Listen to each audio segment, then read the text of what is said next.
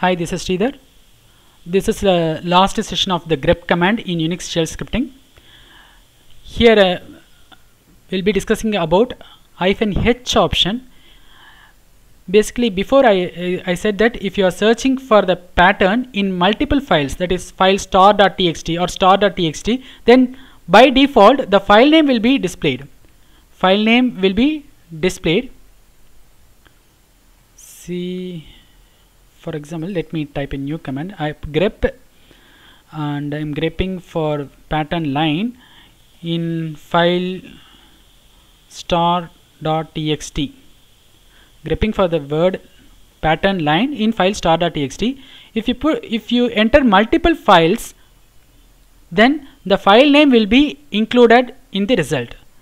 But if you wish if you don't want to include file name then you can use hyphen h option hyphen small h it won't print the file name. And sometimes if your output didn't display the file name then you can give hyphen capital H. There are two options. One is hyphen cap capital H and hyphen small h. Hyphen capital H it will display the file name. And hyphen small h it won't display the file name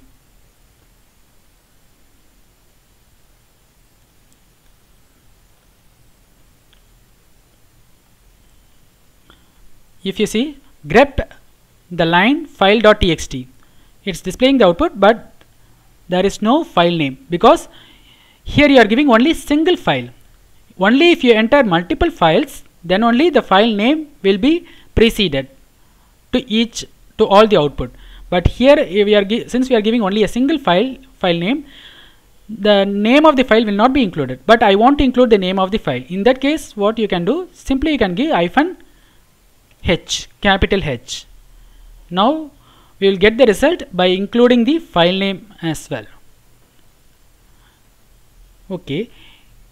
But if you are putting it as grep line file star.txt means it's checking for the pattern line for multiple files. Multiple files means it's searching for more than one file. So in that case by default it will print the file name. This first one will be the file name but here if you don't want to print the file name if you don't want to print the file name even if you use multiple files for the given search pattern then what you can do simply you can give hyphen h that is small h. Here even if you are giving multiple files for searching the pattern line the file name will not be displayed here. If you give small h capital H is for printing the file name and hyphen small h is for it won't print the file name. The next one is hyphen q. Hyphen q means quiet or silent grepping it will check whether the pattern is found or not. If it found then it won't display the result. Just it will it won't display anything. It won't display anything. Hyphen q searching for the pattern line in file2.txt it won't display anything. If you want to know the status whether it is success or not then you have to check it by using echo dollar question mark. Echo dollar question mark means it will display the exit status whether it is success or not. 0 means success and non-zero anything other than 0 means failure. If you see here yes the exit status is 0 so it is success.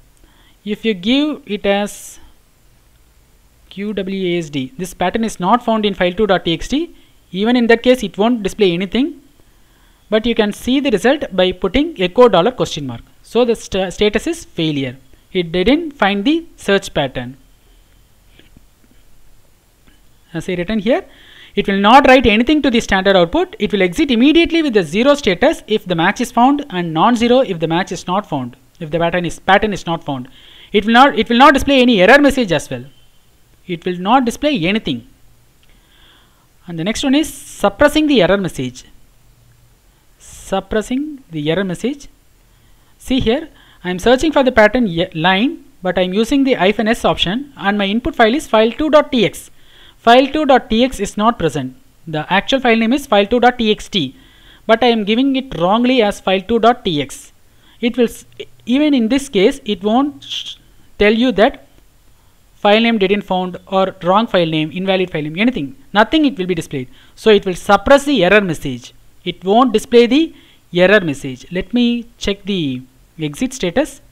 Exit status also failure 2 if you put correctly then it will display the result. It will display the result and exit status is also 0 so hyphen s means hyphen s will work only if there is an error.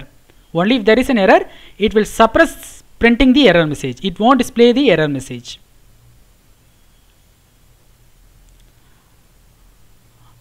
and the next one is grep hyphen x. X means the pattern is the entire line. The pattern is the entire line. So if you are searching for the pattern i am searching for the pattern end but this end is the entire word not the one entire line not the word entire line. For the entire line itself only end is present. So in that case you can give hyphen x option so it will display end. If you remove you can compare by removing this one. Grep simply end file2.txt you got the result. There are three lines but in all the three lines end is not the complete line. End is not the end means the pattern. The pattern end is not the complete line. Here you have the pattern but it follows with some other words. Here also the pattern is found but also it followed by some other words. But only in for this line the pattern is found and this is the entire line. The pattern itself is the entire line. In that case it will display the result. So hyphen x is for printing the pattern which match the entire line. And you can also put write some regular expressions in the grep command here let me execute separately. Grep hyphen i pl sql in file2.txt here I have the pattern PL SQL but in the second line I am using small lowercase and uppercase mixedly. So if you are using if you if you are not using hyphen i option then it won't display the second line. So if you want to use if you want to print the second line also and you want to use the regular expression then you can give it in square brackets. As I said earlier the square brackets means it will return only a single digit or single character. Here I am putting P capital P and small p. So it will return any one one value either capital P or small p. And L means either capital L or small l. And within square bracket S capital S or small s so it will it will return only a single character. So I am putting all these PL SQL inside separate square brackets. So I'm searching for the PL SQL in the in input file file2.txt there we got it. PL SQL and this PL SQL also displayed. You can use hyphen i option also but in some case you need this regular expression. So you need to know about the regular expression also. Here the, in the regular expression you can also put star that is asterisk symbol question mark anything. Anything you can put it. And that's all about the grep command. We will discuss about some other topic in the next session. Thanks for watching. Bye